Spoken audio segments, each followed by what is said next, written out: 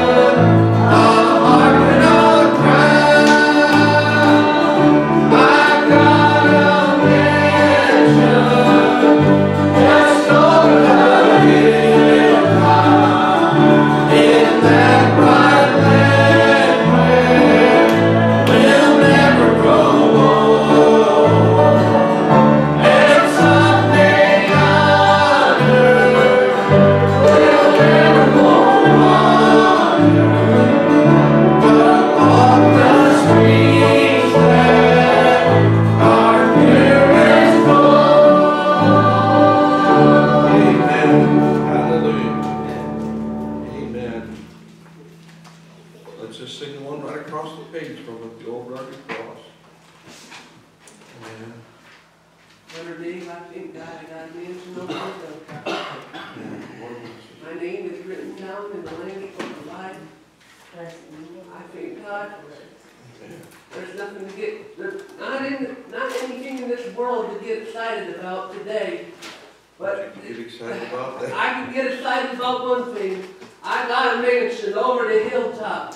Man. Nothing can, no, no weapon can form against me, no, I thank God for that. We should be rejoicing today because our name is recorded in the Lamb's Book of Life. There's no devil, there's no demon can erase that today. I'm glad I've got a mansion over a hilltop. Well,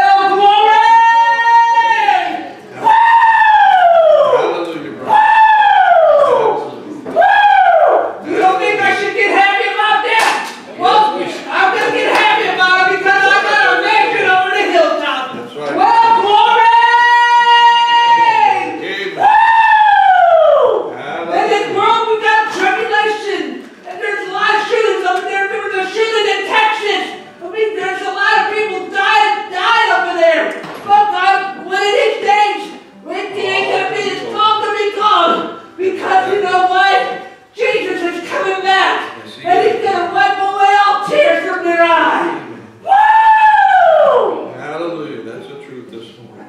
The old rugged cross. Amen.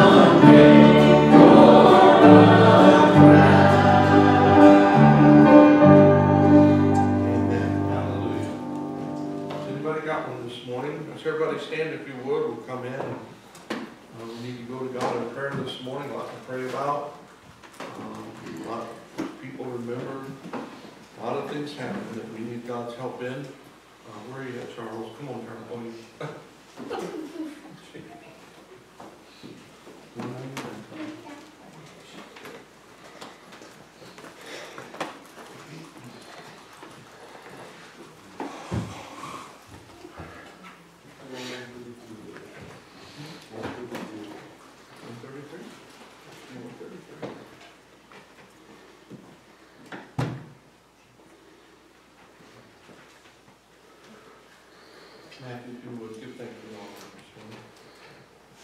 Heavenly Father, Lord, we thank you, God, for an opportunity to be in your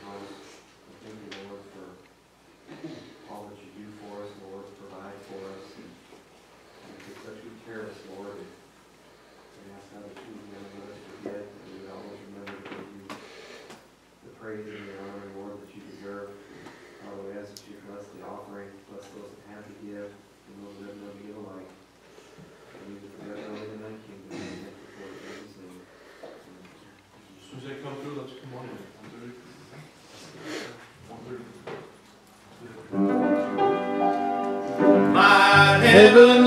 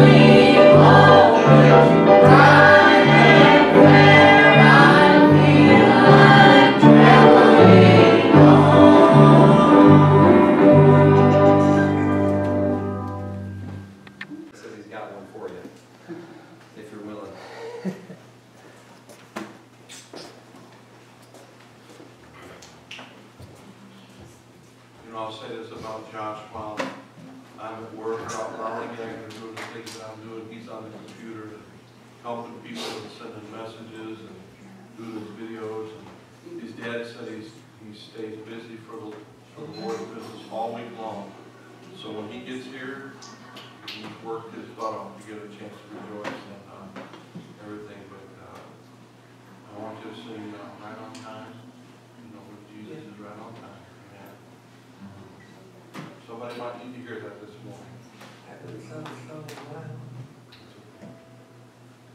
They sent for Jesus, your friend, to die, but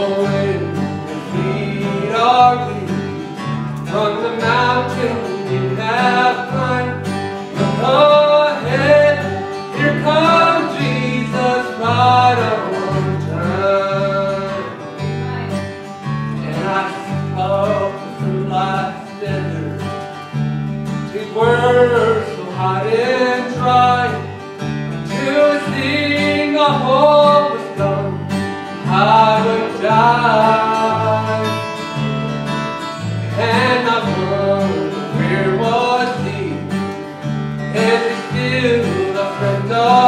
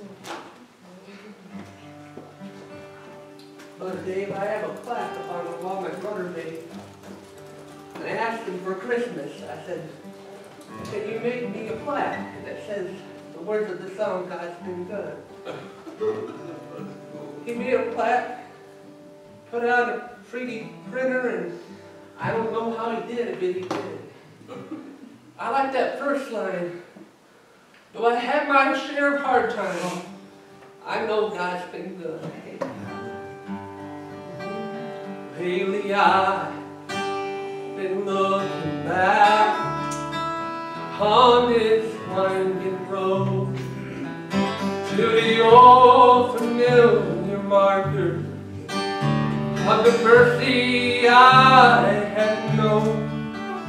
I know it may sound simple, it's more than a shame. There's no better way to tell you than to say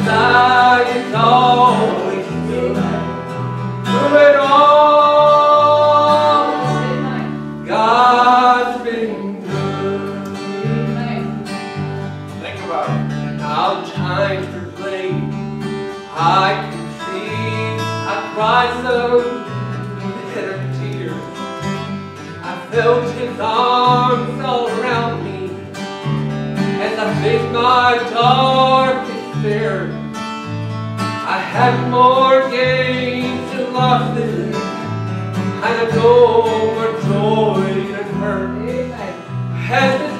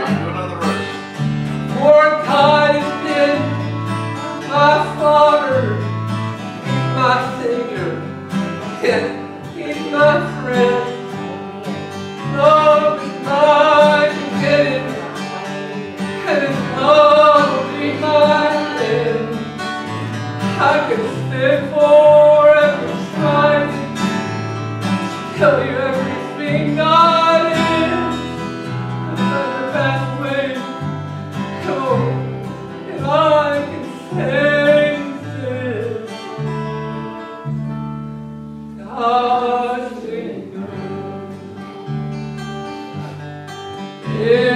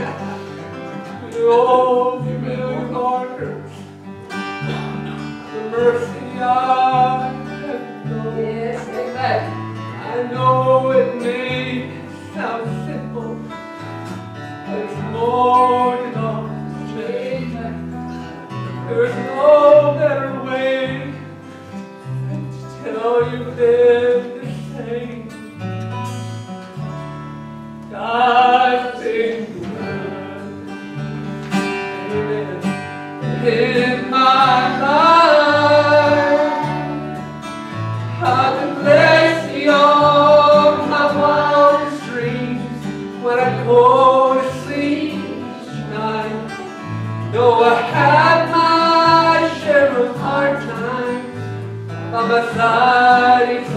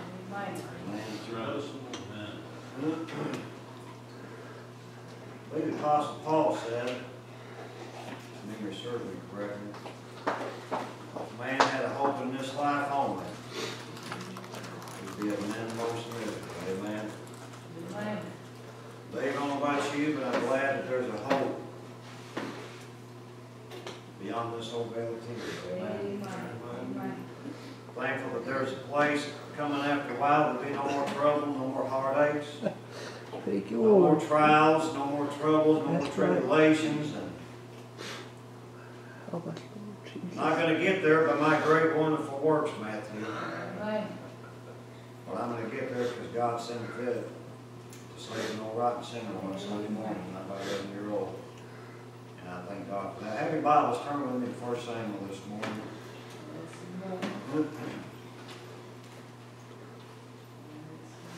Fifteenth chapter, First Samuel, we just would read one verse. Try not to keep you real long this morning. Mm.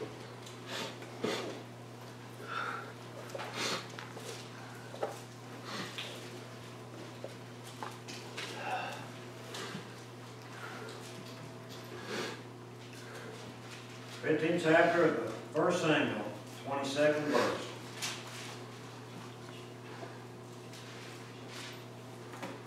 And Samuel said,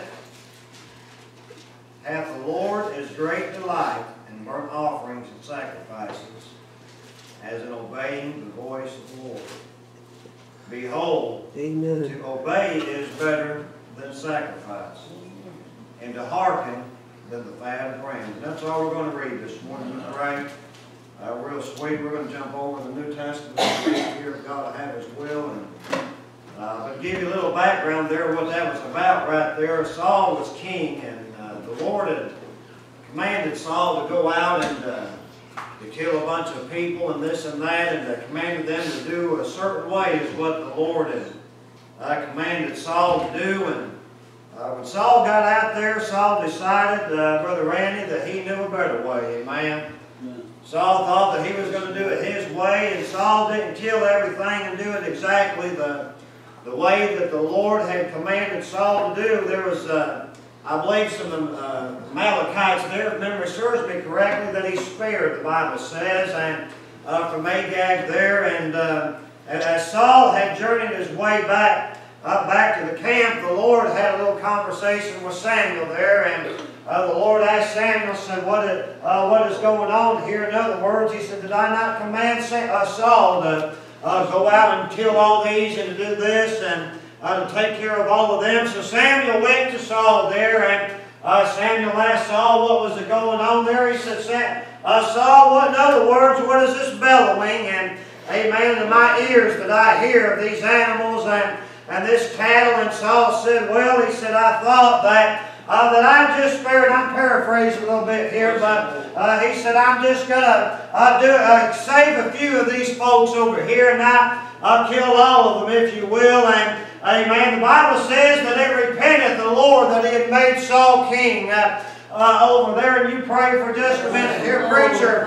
Uh, what does that uh, got to do with anything? But the Bible says obedience is better uh, uh, than sacrifice. And that, amen, from that point on, that caused problems with those Saul. That, amen, that he didn't do exactly what the Lord had, had commanded him to do from that very day. And, amen, and the Lord has given us explicit instructions today. If you're here this morning and you're sick and troubled and I don't know what to do, then you're going to have to do it God's way. I laughed this morning, you say, preacher, how, how is that possible? The Bible says that uh, John chapter 9 that Jesus had passed by and uh, came into a town, Matthew, and seen a man that, amen, that had been blind, amen, sitting there, and, amen, the disciples had asked Jesus, and uh, they said, Jesus, who sinned? Uh, uh, amen, was it this boy that sinned, uh, or his parents that sinned, amen? And Jesus told them, he said, neither one of them has sinned, but that the glory of God, amen, might be glorified. Amen, the Bible says, amen, that Jesus seen this young, uh, this young man that was standing there, amen, amen, he'd been uh, born birth, amen, uh, blind rather, and the Bible says that Jesus, amen, went up to the young boy, amen, uh, the Bible teaches us, amen, that Jesus, amen, didn't have to go call in another specialist, amen, to give this opinion. Or that opinion. On what to do with the young man there. But the Bible teaches us, amen, that Jesus got down, amen, and he got the dirt that was into the ground, Amen. You can agree with this if you want to. Amen. But the Bible says, Brother Randy, Amen, that Jesus spit into the dirt. Amen. And Jesus got down, got the dirt up out of the ground, and he spit in it, and he rubbed it together, and he rubbed it on that boy's eyes. He said, Now go to the pool of Siloam, I believe it is. He said, Go down there and wash yourself. Amen. So the young boy, amen, he went down to that pool. Oh, yes, he did. And the Bible says that when he went, I got down in the pool, amen, and he washed himself, oh, that he came back uh, different than what he was uh, when he went down there. Uh, Brother Randy, the Says, amen, and he came back uh, seeing, amen, he was able to see. Uh, let me tell you something this morning, Brother Dave. When God's done with you, amen, you'll look different than how you was before. Amen, you say, preacher, uh, you believe that? Amen. The Bible says uh, there was a man named Legion, amen, and everybody around there uh, that lived next to this crazy man, uh, they said, leave him alone. Have nothing to do with him. Uh, amen. Everybody in that community, amen, that lived around old Legion, uh, Brother Dave, uh, they had to have been Baptists. Uh, preacher, why do you say that? Because they said, leave the boy alone. He's done plumb crazy. Amen. Uh, Brother Randy, I don't know about you, uh, but my Bible teaches me that if I see a brother or a sister in need, amen, I'm to help them out. Amen. If I don't, amen, amen, how dwelleth the love of God in me? If I shut up, the bowels of compassion on me. Uh, let me tell you something,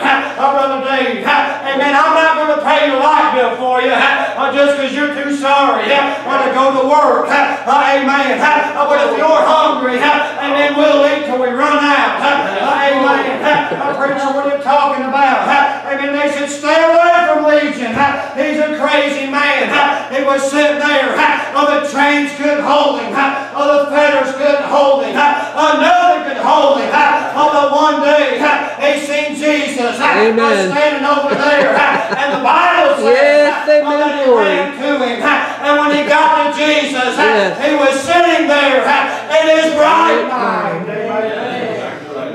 He was sitting there. Thank you, Lord Jesus. Amen. The reason the devil said, Amen, send us away.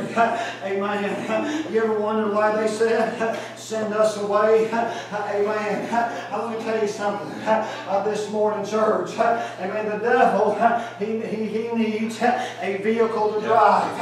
And he does not care if it's a child of God or a herd of pigs. The devil needs a vehicle to drive. Uh, So they sent the evil spirits, amen, away into the herd of swine. That man was changed uh, that very day.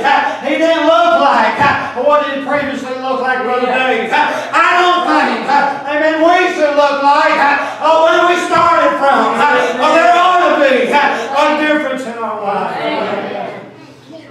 So here this blind boy was. Here he was. And he got back into town there after he went and lost himself. He come back there. And a whole crowd had gathered around him, Brother Dave. And they seen this boy walking. And they said, Is not that the same boy? Is that that not? Of the same boy, amen, that was blind and could not see. And some of them stood around there. And you know what they said? Some said, Well, I think it's him. It might be him. It sure does favor him. It sure does resemble him. Amen. But I'm not quite sure if that's him or not. So they asked the boy of the crowd gathered around. They said, Are you the one? Amen. Oh, that was blind. And now you see. He said, Yes, I am. Uh, They said, What happened to you? He said, Listen. He said, All I know is this. He said, I was blind and I couldn't see. And this man over here, a spit in Yes, the dirt, or rubbed it on my eyes, told me to go wash. And I went down to wash and I came back seeing. Amen. Amen. The Pharisees and everybody else gathered around. I wanted to trick Jesus. They said, Jesus, he's a sinner man. He wouldn't do these things on the Sabbath day if he truly was the Son of God. So they got the boy's parents together and they asked him, they said, is this your boy? They said, yes it is. They said, did this man heal him? They said, listen, I don't know. They were scared to death. To say anything for Jesus. Amen, yes they was. They said, listen, all we know, he was blind, oh, but now he sees. How it happened, I don't know. Amen, so they looked at the boy, and they said, listen, amen, to this man, by the name of Jesus, amen, heal you. He said, listen, boys, call him a crazy man if you want to. I know this much. I was blind and I couldn't see, and he touched me, and now I'm able to see. Amen. Amen. They were trying every way, which way in the world, to trip the Savior up. Amen. Because they wanted to find him doing something that goes against, amen, the law. Amen. But here this young boy was that was blind and now was able to see. And you know how that happened? You know how he was able to be able to go from being blind to being able to be seen, and be able to have his vision back? Obedience. Amen. He went. Amen. When God commanded. You remember when the ten lepers? Remember when Jesus healed? When Jesus healed the ten lepers, you remember that? Amen. They all went, got healed. Yes. All ten of them turned around and came back to the Lord in the day. And they said, Lord, thank you so much for everything you've done. That's right. Amen. Amen. No, it was nine of them, wasn't? No, it wasn't. One person out of all ten of them turned around they give God thanks. If you can see this morning, it's only because of the grace of God. Amen. Exactly right. Amen. I once was blind, but now I see. Amen. Do you remember, remember when Peter and John had went to the gate there and they'd seen the man that had been laying there all them years. Amen. He was asking an alms of them when, when Peter and John was going into the temple, it was Dave. Amen. Amen. And he reached out to receive a handout from them. And Peter, Peter looked at him. Amen. Peter said, Look on us. And that man looked on him, expecting to receive, Brother Dave, a little bit of pocket change, if you will. Amen. He got more than all of the money that you could hold in Fort Knox. Peter looked at him. Peter said, He said, Silver and gold have I none, but such as I have, I give unto thee. Rise up and walk. And he grabbed him by the right grabbed him. Yes, And he amen. lifted him up. And the Bible says that the strength came to him. And everybody around him uh, condemned Peter and John. And Peter told them, said the very one uh, that you sent to Calvary uh, is the one that healed this man. This morning, amen. Exactly right. He's the very one. Why was Peter and John able to do such a thing? Through their obedience. Amen. Matthew taught us more in Sunday school about faith. Amen. You can have faith all day long, but faith without faith without works is dead. That's it. Jesus walked into this town one day, and he seen some seen a tree there. Brother Randy he reached up, and it was time of year the figs should have been on the tree. And he reached up on the tree. What did he find? Didn't find nothing on it. Amen. What did Jesus tell him? He said, cast that tree down. Amen. He, Jesus didn't tell him, amen, to cast that tree down because it was doing something wrong. Amen.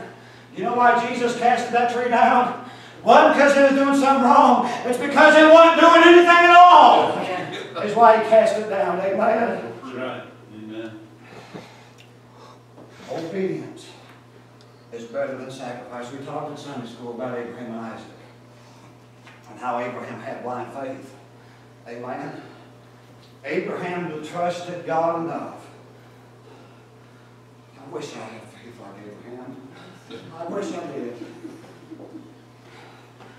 Abraham got up there, got the, everything laid out. Before he went up there, he told the servants down at the bottom of the hill, he said, you boys stay here, me and the lads going yonder to worship. And we will be back. That's faith, brother. That's right. That's faith. He got up here, got on Mount Moriah. He got the altar together, got the wood together, got the fire ready. I said, Father Abraham, I see the wood, the fire, I see the rope, I see the hatchet, but where's, where's the lamb, Father Abraham? Abraham said, don't worry, son. God will provide a lamb. Abraham took his son, bound him up right there on that altar. And I believe Abraham had the faith. I said this in Sunday school. But Abraham had the faith that I believe in my whole heart. That if he would have took that hatchet with Randy, and if he would have had to have taken Isaac's life right then, I believe Abraham had the faith that God, just like that, rise raise Isaac from the dead. And about the time that Abraham was fixing the let him have it, God said, Abraham, Abraham, do thy son no harm. He knew that Abraham was going to be obedient to him this morning, amen. We can sacrifice all day long. Amen. That's right. But there's a difference between sacrifice and obedience. Amen. Amen. There's a big difference. And in order for God to help us, and in order for God to touch us and work in our lives, we've got to be obedient. Matthew was talking about Sunday school about three Hebrew children and how they told the king they weren't going to bow down to that music. Amen. He heated the furnace seven times hotter, so hot that the men that threw the three Hebrew men in was killed instantly. Amen. Remember what Shadrach, Meshach, and Abednego said to the king? They said, we're not going to bow down to you. Whether our God delivers us or not, we will not bow down to you. Amen. Them three Hebrew children, they had the faith that they believed that if they had to die in the way of a fiery furnace, that God would still be there for them. Amen. That's obedience. Amen. That's obedience. Amen. Man lay there at the gate for 38 years. For 38 years he lay there sick. Amen. With the palsy. Amen. He sat there for 38 years waiting. He said, every time I'd go to step and get in that water, that an angel would come down a certain time of the year and trouble the water. Every time I go to get down in that water, something always steps down in front of me. Amen. When we stop being obedient to God, and we start being obedient to everything else in this life, everything's going to step in front of us. Amen. He said, if I could just have somebody help me get into the water, I know that I can be made whole. Amen. See, he had his theory. He had his ways of what needed to fix him getting into that water. But Christ came along and had other plans for him. Amen. That man was healed that day and never stepped one foot into that water. That's right. Amen. Amen.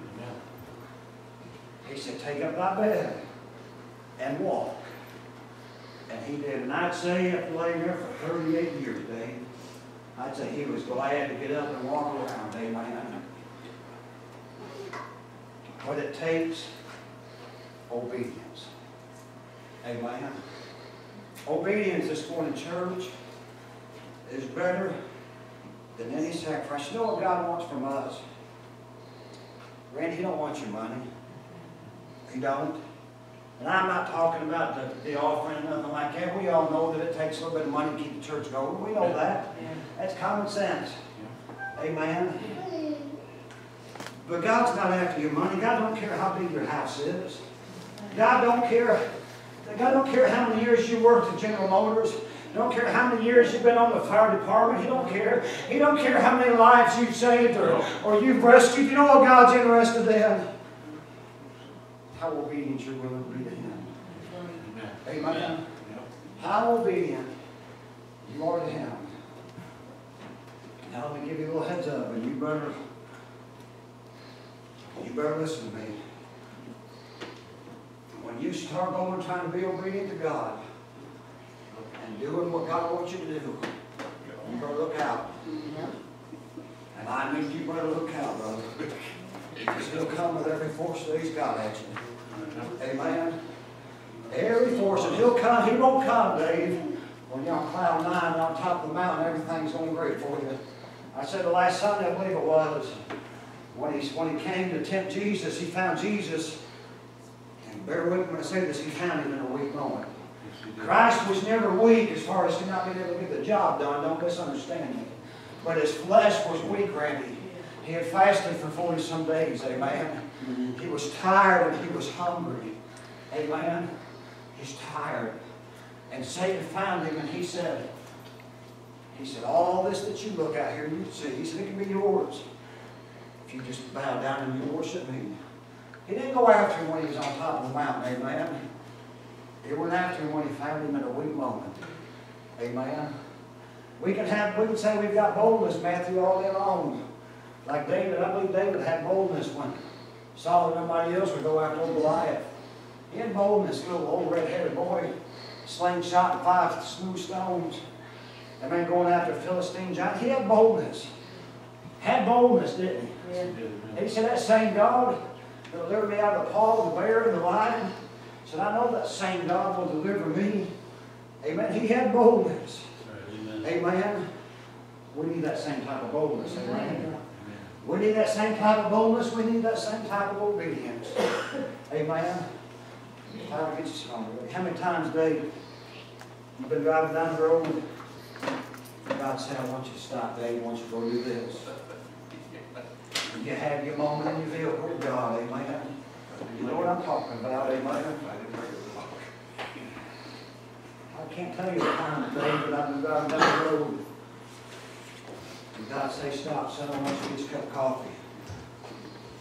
I'm thirsty, Lord, I drank enough coffee today to float battleship, I don't need no more. He said, stop and get one, so I would. Get back in the truck, ten minutes later, get on up the road, and guess what? And The interstate shut down, somebody wrecked, somebody done this, somebody done that. If we'll listen and be obedient to the voice of God when He speaks, it's a much better life. Let me just say this before we sing. That's right. Remember, I believe it was Elijah got up there. Elijah, Elisha one, don't hold me. And they were waiting for God to come in the great big earthquake. Waiting for the thunder to roll, the lightning to flash.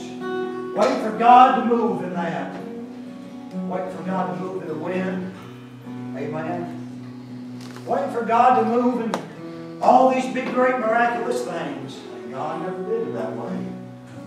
But you know the way God moved? In that still little small voice. That's what we got to be obedient to, Brother Dave. Is that still little small voice, amen? Sometimes people say when you're hanging by a thread, tied in a knot, sometimes it feels like that knot's breaking you. Amen?